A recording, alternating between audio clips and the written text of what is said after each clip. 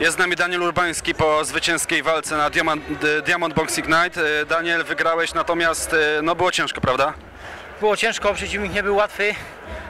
Mam y, tutaj duże zachwalenie dla trenera, bo postąpiliśmy ostatnio duże postępy techniczne, jeszcze kondycyjne, nie tak, nie do końca dopracowaliśmy, nie było dużo czasu, łączę to z pracą, troszeczkę nie, jest trudno się przygotować do tak długiego pojedynku, ale na pewno tutaj dzięki trenerowi odnie- odnieśliśmy dużą poprawę, jeżeli chodzi o boks techniczny. E, No, na początku rundy były takie rozpoznawcze, natomiast od trzeciej rundy e, walczyłeś już e, z kontuzją łuku brwiowego. Na ile ta kontuzja e, uniemożliwia, uniemożliwia tobie normalny boks?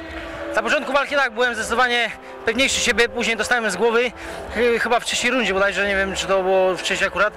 I troszeczkę mi przeszkadzała ta kontuzja, nie powiem, że nie.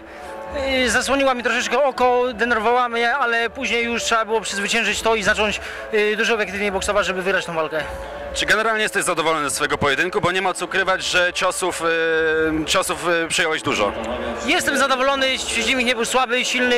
Y, Dostałem kilka ciosów, nie zrobiły na mnie one dużego wrażenia, także przygotowanie y, motoryczne, fizyczne jest.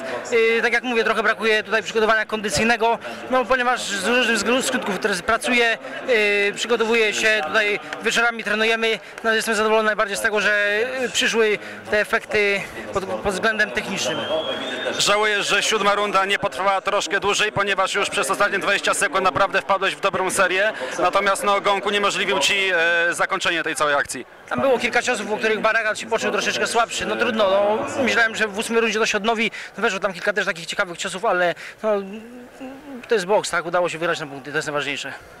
Dzięki. Dziękuję.